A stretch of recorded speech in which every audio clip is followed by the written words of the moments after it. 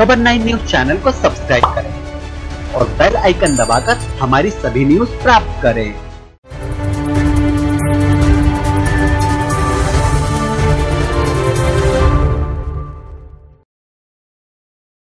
नमस्कार आप देख रहे खबर नाइन और मैं हूँ आपके साथ प्रिया। सोनकश नगर अभी तक कोरोना संक्रमण से बचा हुआ था लेकिन पांचवा लॉकडाउन शुरू होते ही नगर के वार्ड क्रमांक नौ में रहने वाले बावन वर्षीय व्यक्ति की रिपोर्ट पॉजिटिव आई है। इस व्यक्ति का अमलताज हॉस्पिटल देवास में बीते आठ दिनों से इसका इलाज चल रहा है, जबकि दूसरा मरीज़ वार्ड क्रमांक आठ में रहने वाले 26 वर्षीय युवक कोरोना पॉजिटिव पाया गया। सूचना पर स्वास्थ्य विभाग, पुलिस विभाग, एसडीएम तहसीलदार पहुँचे और कंटेनमेंट एरिया बनाकर सील कर दिया गया। दोनों ही मरीजों के परिजनों को क्वारंटीन सेंटर भेजा गया है, जहाँ उनका सैंपल लिए गए हैं। सोनकत से रुपेश सिंह की रिपोर्ट। आज की खबरों में बस इतना ही। बने रहिए हमारे साथ खबर नाइन में।